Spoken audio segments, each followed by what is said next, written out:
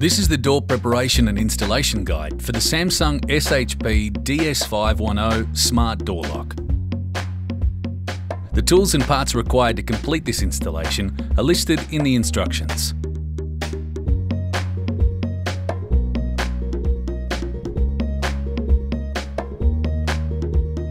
Door preparation. Fold the template over the door edge and mark with a pencil.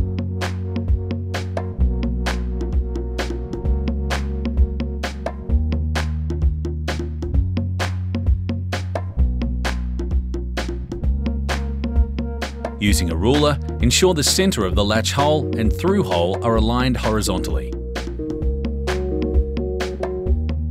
Now take your safety glasses, battery drill and spade bit. First, drill the latch bolt using a 25mm spade bit. This will help to avoid the timber splitting at a later stage. Make sure you keep the drill perfectly straight. Drill about 45mm deep. Then, using your 54mm hole saw, drill one side of the through hole. Stop drilling once the hole saw begins to poke through the opposite side of the door. Now drill the remaining hole from the opposite side of the door. A quick clean of the sawdust gathered inside the door is recommended. You can now prepare the recess for the latch bolt. Insert the bolt.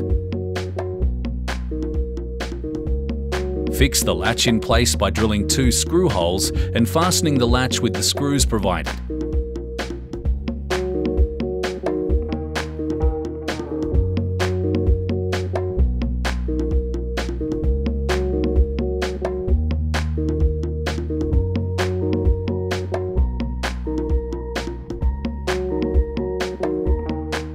Mark out a chisel guide around the faceplate.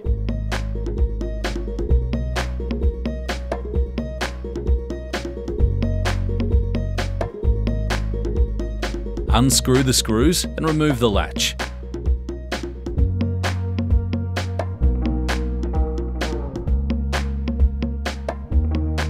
Now chisel out the depth of the latch face. Door preparation is now complete. Installing the lock. Take note of which orientation the deadbolt will need to be installed, left-handed or right-handed. There must be more than a 50mm gap between the door frame and the lock edge. Step 1. Adjusting the length of the deadbolt and tailpiece.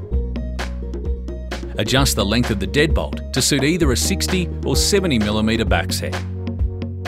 Cut the tailpiece to the appropriate length for the thickness of your door. Step 2. Installing the deadbolt. Insert the deadbolt into the edge of the door. Secure the deadbolt using the two self-tapping screws provided.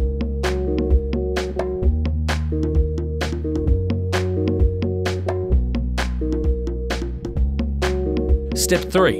Installing the exterior unit. Install the exterior unit, ensuring the key tailpiece direction is correct. Step 4. Installing the mounting plate. Bring the cable through the interior mounting plate. Fasten the interior mounting plate using the three long screws shown Tighten the screws 90% of the way. Align the exterior unit with the interior mounting plate and tighten the screws. Caution, do not over tighten the screws and ensure you check the movement of the deadbolt using the key. Step 5. Installing the interior unit. Install the magnetic sensor, ensuring you use the correct socket for your door handing. Use the SEN A socket if installing on a right-handed door. Use the SEN B socket if installing on a left-handed door.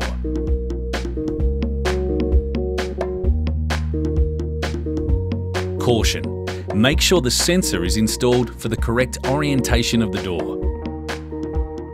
Connect the black connector from the exterior unit to the interior unit. After connecting the cable, tuck the excess cable behind the interior unit. Align the body and install the black thumb screw at the bottom of the lock. Open the battery cover.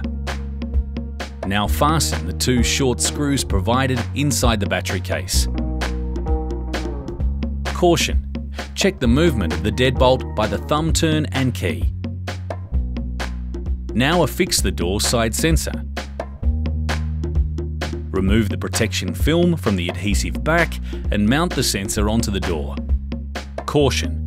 The gap between the door frame and door side sensor should be no larger than 20mm. Now mount the door frame sensor, ensuring the gap between both sensors is no larger than 20mm. If the gap is too wide, adjust the sensor positions.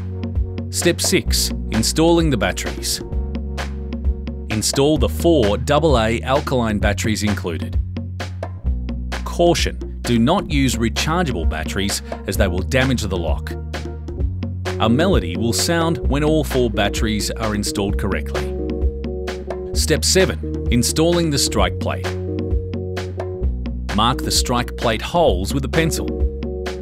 Then drill a pilot hole for each screw.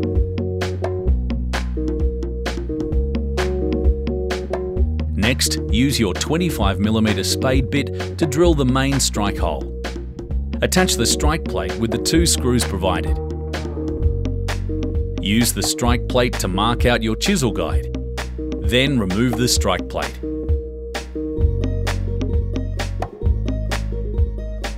Now chisel out the depth of the strike plate. Attach the strike plate with the two screws provided. If the door frame recess is deeper than the provided strike plate, you can install a sub-strike plate. Lastly, perform a final check by touching the screen and testing the 1234 star master code. Installing the lock is now complete. Programming the lock.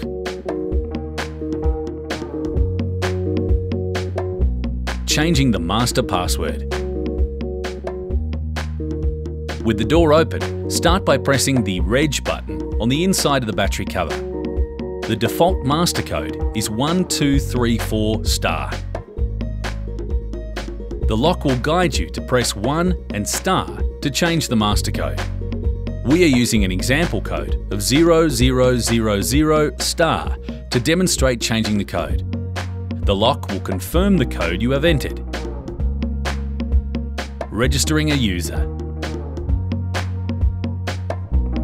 With the door open, start by pressing the Reg button on the inside of the battery cover. The default master code is 1234 star. The lock will guide you to press 2 and star to register a user. Follow the prompts and enter 1 star to add a user code.